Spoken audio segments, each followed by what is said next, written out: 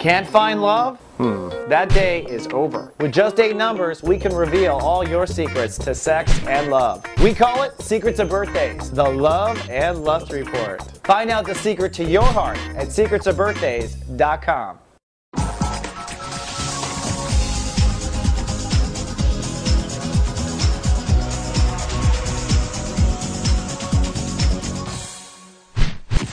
Hello, Messenger Geminis, and welcome now to Monday.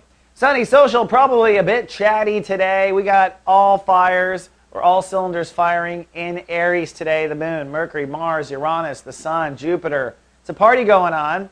We had light cast day over the weekend. Today the moon is still in Aries, so you're very social emotionally, you're focused emotionally, and your home planet Mercury is ruling the day. Social day.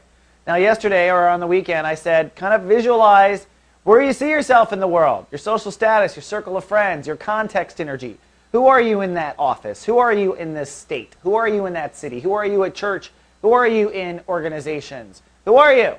Well, today it's time to put that into action. With Mercury ruling the day, go ahead and have some conversation. Maybe it's time to go talk to human resources or talk to your friend or begin your campaign. Maybe it's time to find or receive information that will be helpful in your campaigning or your efforts to reach your social goals. But today is a day of information exchange, which is what Geminis do best.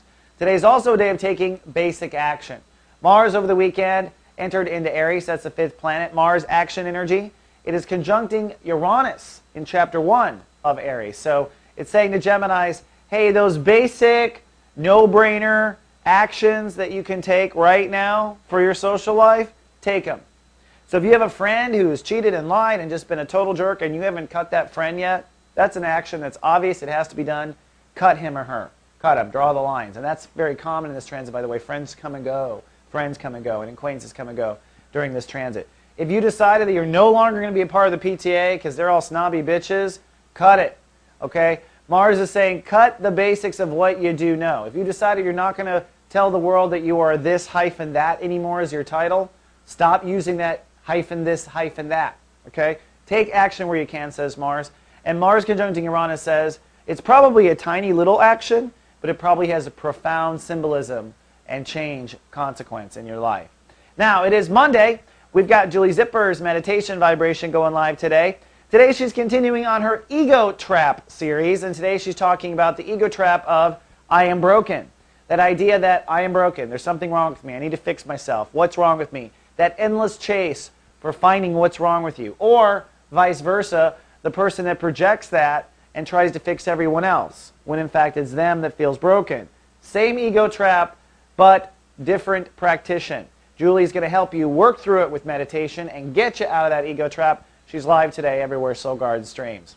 All right, Ambassador, that's all I have to start off this week. Tomorrow things get a little cloudy for you, so I would take care of business today if you can. Until tomorrow, live, love, be. So go.